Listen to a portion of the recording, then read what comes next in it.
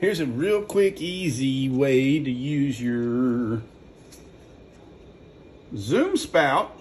I got it zoomed in on the camera, I mean. Come in here and just push down at an angle.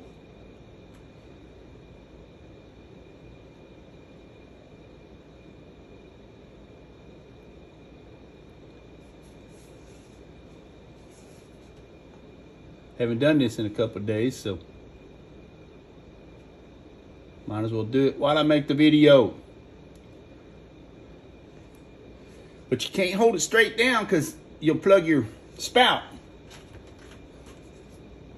You have to hold it at an angle so that your your little straw spout thing will feed your oil into your machine.